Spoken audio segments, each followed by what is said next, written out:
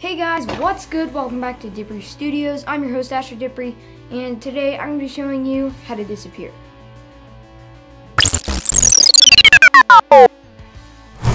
Alright guys, so what's up? Let's get started. Before we hop into After Effects, we're going to need two shots. The first one is you getting ready to disappear. Be doing whatever you're going to be doing, alright? So you're mowing the lawn, and then you're going to look into the camera and stop. And just stay looking at the camera for maybe four seconds.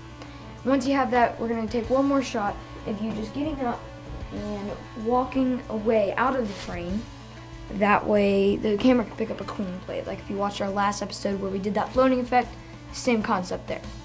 And also like the floating effect, try to be in a place where you're not casting too much shadow. You can see if I was way back here, I would get the shadow behind my hand. But because I'm kind of further away from the background, then there's not so much shadow. So we're going to drag in our foreground layer and our background layer into After Effects.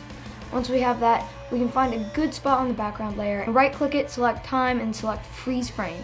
And that means that the entire length of the clip will just be a single static picture, an image. Now, on the foreground layer, we're going to duplicate it and make the top one a freeze frame as well. Now we can take that and line it up near the end of the original foreground clip. Alright, now we're going to take that freeze frame foreground clip and create a mask around it. So now if you disable the layer behind it, you should see that it either turns black or just a transparent grid, whichever one you have selected in After Effects. Now we are almost done right here. We just need to apply the CC Scatterize effect and then animate that. So we're gonna go to the start, click on the little stopwatch to create a keyframe, and go to the end, and that'll scatterize it even more.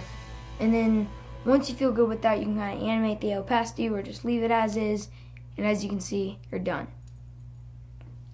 Alright everyone, it's been great showing you how to do this, and I'll see you next time on Dipprey Studios.